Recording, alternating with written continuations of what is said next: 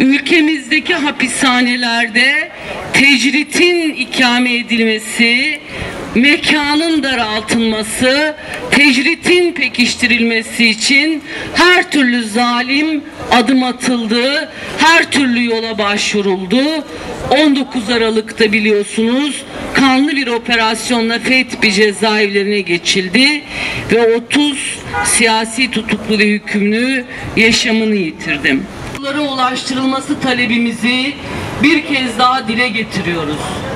Ve diyoruz ki hasta mahpuslara aynı tecritte, aynı zalimlikte, aynı baskıcı, imha ve inkar edici uygulamaları devam ettirmektesiniz.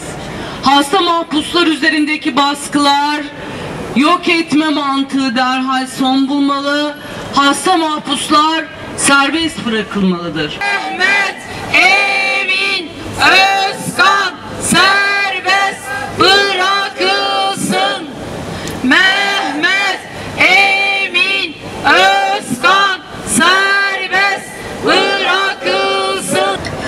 Hapishane kapılarında yaşatılan işkence, baskı ve zulmüne karşı örgütlü bir mücadele için tutuklu ve hükümlü aileleri ve duyarlı aydınlar tarafından 1986'da kurulan İnsan Hakları Derneği 28 yıldır kesintisiz mücadele yürütmekte, hak ihlalleri ve hapishanelerde yaşanan zulme ve işkenceye karşı kurulduğu günden bu yana hapishane gerçekliğini kamuoyuna başta olmak üzere tüm insanlığa duyurmaya çalışmaktadır. Yerdeki hücretli yaşam dışarıdaki yaşamımızı da hücreleştirmektedir.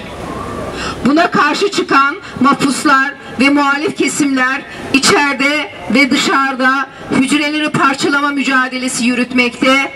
Mahpusların dışarıdaki sesi olarak çok çeşitli biçimlerde mücadelelerini sürdürmektedir.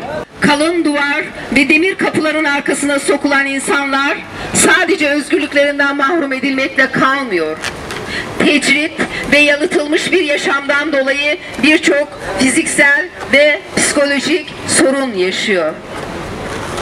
Yatalak ve hiçbir ihtiyacını karşılayamayan, ihtiyaçlarını arkadaşlarının yardımıyla karşılayan ve yaşayan, her iki bacağı olmayan, her iki kolu olmayan, bir bacağı veya kolu olmayan, elleri olmayan, tedavi şansı olmayan beyin tümörleri başta olmak üzere birçok hastalık. Musa Kaya Kırıkkale Fethi Hapishanesi'nde kalıyor. Kafasında şarapnel parçası var. Nuri Özen İzmir Şakran Hapishanesi'nde epilepsi hastası. Necdet Duman Ankara Sincan İkinoğlu Hapishanesi'nde kolundan yüzde seksen engelli.